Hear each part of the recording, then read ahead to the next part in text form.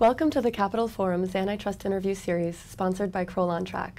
My name is Karina Lubell, and I'm delighted to be joined today by John Harkrider, an antitrust partner in the New York office of Axinn Veltrop and Harkrider. Today, John and I will be discussing the strategic timing of regulatory filings in international transactions. John, thank you for joining us. Thanks. Um, so given the global nature of business, it's no surprise that a growing number of transactions are triggering filings in multiple jurisdictions. So perhaps to start, you could walk us through the process of how do you determine where to file? Right. So usually there are two separate lists of jurisdictions, um, maybe even three. Uh, there are the jurisdictions where um, you have to file mandatory filings. Um, there are the jurisdictions where it's a mandatory filing and it's a suspensory jurisdiction, which means that um, if you don't get clearance, you can't close. And then there are those jurisdictions where um, it may be advisable to file, uh, not required. And um, maybe even fourth, there are those jurisdictions where um, you have post-close filings. And so you need to look at all of those issues. Um, this all ties back into the contract and um, whether and which jurisdictions are going to be closing conditions, and whether you're the buyer and whether you're the seller. So, for instance, um, let's say you have a voluntary jurisdiction, um, and um, there is a risk of an investigation.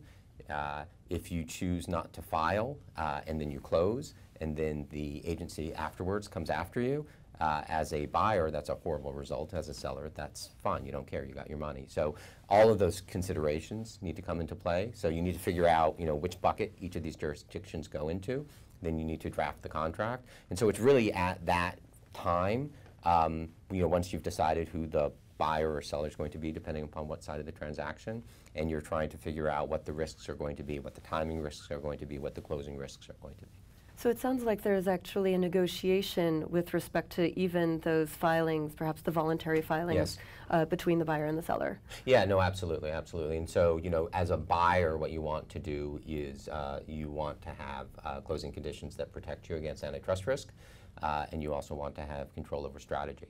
Uh, so there may be those jurisdictions that um, are voluntary jurisdictions or even mandatory jurisdictions where you say, you know what, I'm not going to file there um, because the risk is too high, and I don't think that that jurisdiction's ever coming after me. Uh, they've never come after anybody in the past. So okay. it's, a, it's a pretty complex analysis, but you have to do it as early as possible because all of these issues play into the level of antitrust risk and the level of timing risk. Sure. And so once you've identified or you've decided on the jurisdictions in which you're going to file, um, how do you figure out when to file? I mean, is, is, the idea to have uh, get clearance in each jurisdiction simultaneously? Yeah, so it really depends upon what your what type of deal it is. So a lot of the deals we do are really tough deals, um, and this is a very difficult regulatory environment. Um, so uh, you, I would say there are two general big strategic decisions you need to make. So one decision you need to make, and we did this in uh, Dell EMC, um, is you need to make the decision um, uh, do you want to get clearance uh, by the major jurisdictions, um, let's say the United States and Europe, um, so that you can, and get that phase one clearance, so avoid a second request, avoid a phase two in Europe, and get that clearance um, in such a way that you can send a signal to the other agencies. You can get a decision, and you can say, well, here's the EEC decision to you know, a various, you know, whatever jurisdiction you're going to. You know, they didn't see that there was a problem. You shouldn't see that there was a problem. So in Dell EMC, we actually delayed the HSR by four months um, because we wanted to have uh, a complete uh, investigation by the agency and avoid a second request. So we tried to answer all of their questions prior to filing the HSR so that you never got a second request. So we didn't get a second request in the United States, we didn't go to phase two in Europe, and then we were able to go to other jurisdictions and say, hey, um, look, they didn't think that there was a problem, um, and it's been a successful strategy. Okay. It sounds like from what you were saying before that um, you do think that the uh, the, the result or the decision mm in one jurisdiction could have an impact oh, sure. on another.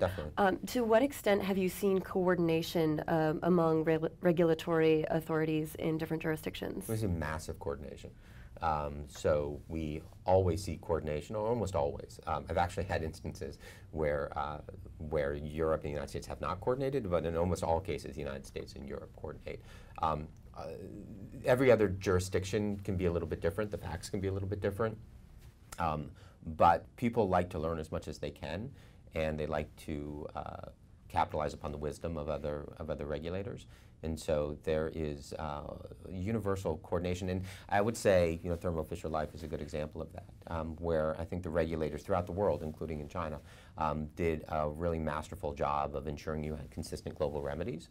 Um, and uh, frankly, in Dell EMC, we needed to have we needed to have everyone sort of sign off on the strategy. We needed to talk to Europe. We needed to talk to the United States, um, so that they actually knew what we were doing. And the idea was that we didn't want uh, the United States to put us into a second request, um, but we also uh, didn't want to put the EC in a position where they needed uh, to make a decision uh, before they were ready to make a decision. And so we wanted to make sure that there was complete coordination on timing as well.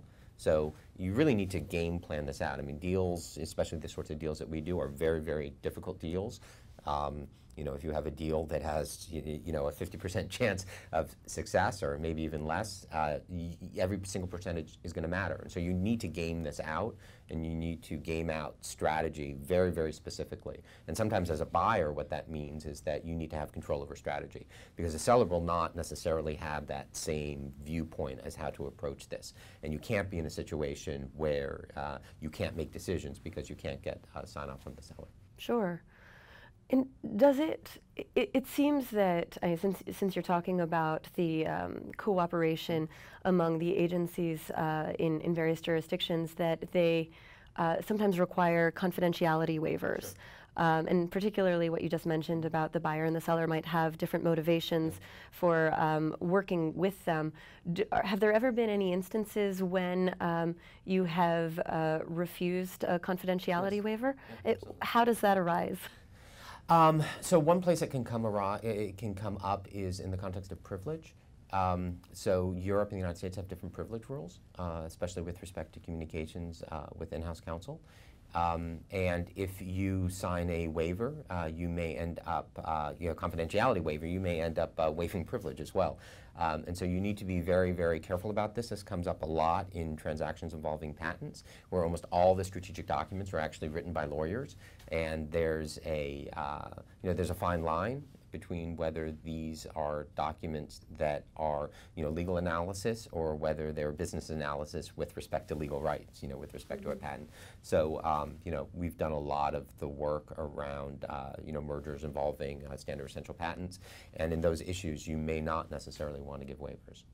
Is there ever a concern that if you withhold a waiver, um, that you're sort of uh, showing, I don't know, I don't want to say your guilt, but um, the, that you're acting uncooperative and that that might not work out in your favor?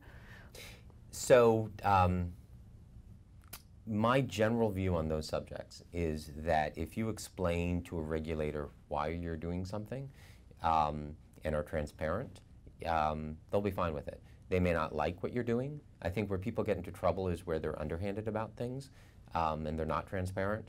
Um, you know, we've always, this comes up in lots of instances where people say, oh, you can't comply, you can't comply. The agency will take it as a declaration of war. I think that's a very inside uh, Washington viewpoint. Um, and, you know, sort of our, our, I think, entire reputation as a firm is actually based on uh, two different approaches. It's the approach of being very fair, very transparent, very upfront with the government, but also uh, being willing, and I think this is almost uh, uh a cardinal fact of, uh, of living in a free society. If you have rights, um, you should be able to exercise them. And rights and laws have no meaning if you're not allowed to follow them. So I've had situations where the agency has asked for a notice to close, and I don't have an obligation to give notice to close because it's not a HSR reportable deal. Um, I will tell them that I won't give them notice to close, and I don't feel that there are consequences from that. I think the consequence comes from not being fair and transparent with the agency.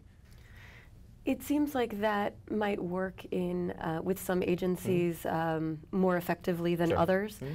And, and actually, since we're, we're comparing agencies here, maybe you can talk a little bit about, um, I, am I'm obviously most familiar with the US, mm -hmm. but um, other jurisdictions in which antitrust is not the only consideration sure. uh, in, in a deal, does that have an impact on um, both how you time a filing and how you work with that agency. Well, you know, I, I'm a firm believer that um, that if you want people to act a certain way towards you, that you should act that way towards them. Um, so I think MOFCOM is a good example of this. Um, so a lot of times there are people out there who are fearful of how MOFCOM is going to do an analysis because they're concerned about the industrial interests uh, that MOFCOM will take into account. You know, my view is that if I treat them with respect, with the same way that I would treat the EC, with the same way that I would treat the U.S., uh, that we have a higher probability of, of of them doing you know a thorough, complete, and comprehensive analysis. Um, and in my experience, um, you know, the, the, the quality of the work that they do and the considerations that they take into account are not materially different um, than, uh, than the United States. So in Thermo Fisher Life, we not only got a completely consistent remedy, but they cleared the transaction faster than the FTC cleared the transaction.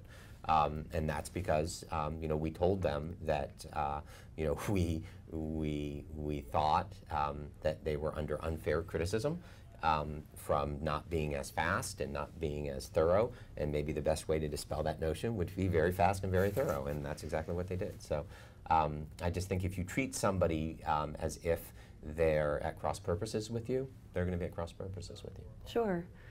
Um, so we talked a lot about the, mm-hmm. the U.S., yeah. Europe, uh, China. Mm-hmm. Uh, are there other jurisdictions um, that you sort of grant special consideration when you're making decisions both about timing and sort of how sure. to work with the, the agency?